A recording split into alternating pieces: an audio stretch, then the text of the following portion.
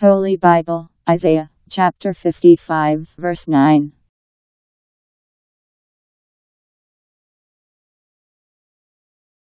For as the heavens are higher than the earth, so are my ways higher than your ways, and my thoughts than your thoughts.